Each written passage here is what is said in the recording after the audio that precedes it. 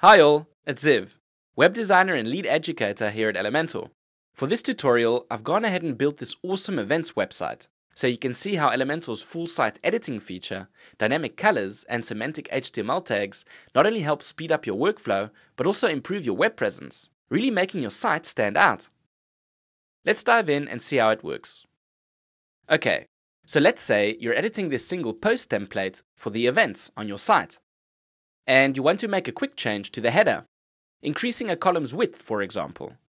Instead of exiting to your dashboard and opening the header template via the theme builder just to edit it, simply hover over the header and click the orange Edit Header label, indicating you can edit the site part. Same goes for your single post template, the page or post content, and footer, enabling you to quickly switch between the different site parts and know exactly which area you're editing, according to the blue activated editing area, saving you tons of time and a lot of redundant clicks. Another great feature that will improve your workflow is dynamic colors. As you can see, we have a couple of event posts that get the same single post template design.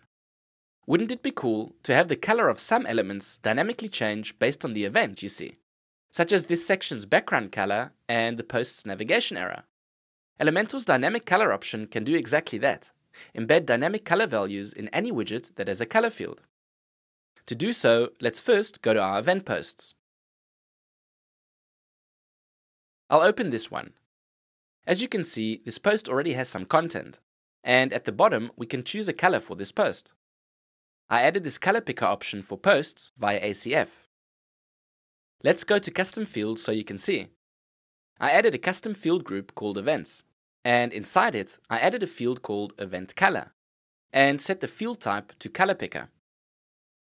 I also added a rule to determine which edit screens will get this custom color picker field. In our case, we wanted to show on the posts we create. So I set this field group to show if post type is equal to post. Let's go back to our post and change the color.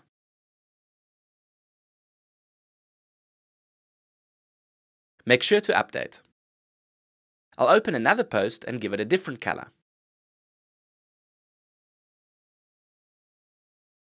I'll do the same one last time.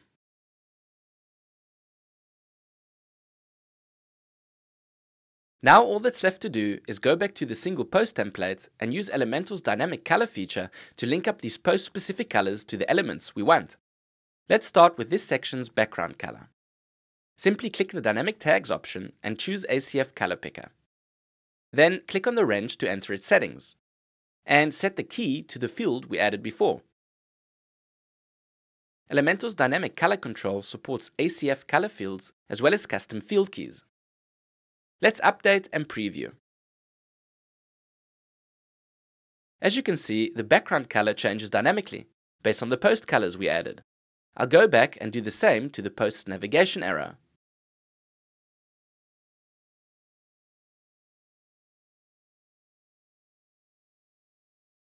And do you know what? Let's jump on over to our header and give it the dynamic background color as well.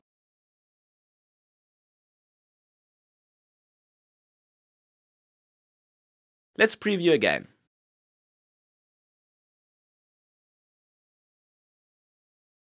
Cool.